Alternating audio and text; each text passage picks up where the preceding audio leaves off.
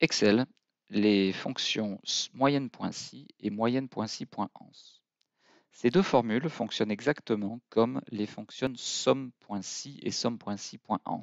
La seule différence, c'est qu'elles font une moyenne, alors que dans la vidéo précédente, les fonctions somme.si.ans faisaient une somme en fonction d'une condition. Alors, reprenons le petit exercice de la vidéo précédente. On avait un chiffre d'affaires global. Donc, pour calculer cela, on a utilisé la fonction somme.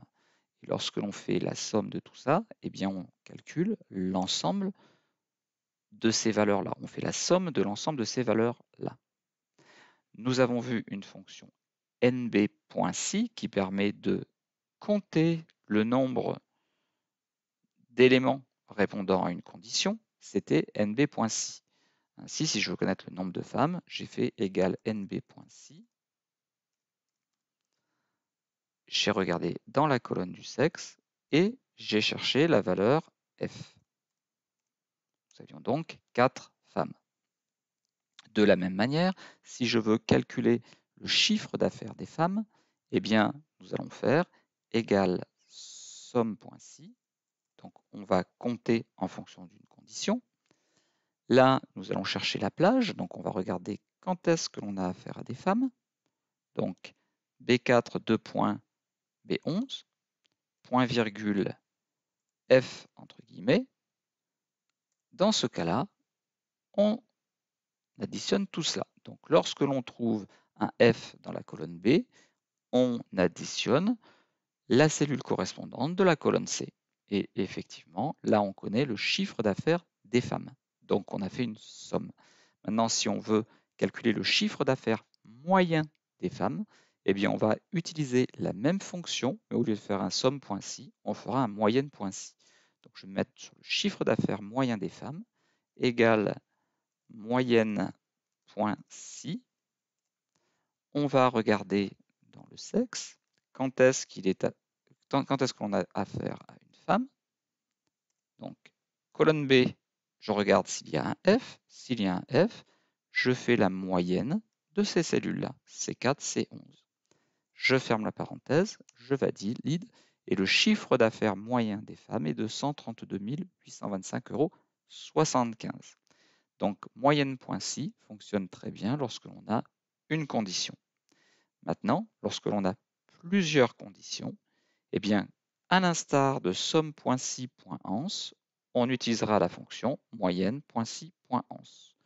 Donc, pour rappel, la fonction somme.si.ans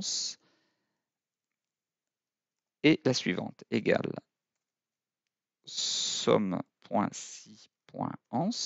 ouvrez la parenthèse, je vais faire l'addition de tout ça lorsque le premier critère dans, dans la colonne sexe, on a F, point virgule. Deuxième critère, au niveau de la performance, on cherche perf. Voilà. Donc, je vais faire une somme de ces cellules-là. Si dans la colonne B, on trouve un F, si dans la colonne D, on trouve performant. Et on a le chiffre d'affaires des femmes performantes.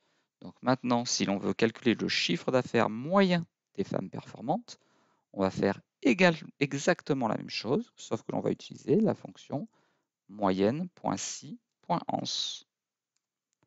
On va rechercher la plage dont on veut faire la moyenne, donc colonne C, point virgule.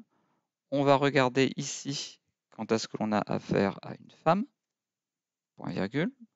On va regarder ici quand est-ce que l'on a perf j'ai mis la même majuscule, mais peu importe la casse. On aurait pu très bien écrire en minuscule, ça aurait fait exactement la même chose. Le chiffre moyen des femmes performantes s'élève donc à 168 552,67 euros. Je le remets pour information. Je répète, on regarde dans la colonne C, donc c'est la moyenne du chiffre d'affaires de cette colonne-là que l'on va faire lorsque le sexe est égal à F et lorsque la performance est égal à perf. Donc, plage, première condition avec le critère, deuxième condition avec le critère. Voilà, donc fonction très facile à utiliser, très pratique également. Donc si vous avez aimé cette vidéo, n'oubliez pas de cliquer sur le bouton j'aime et de vous abonner à la chaîne si vous ne l'avez pas encore fait.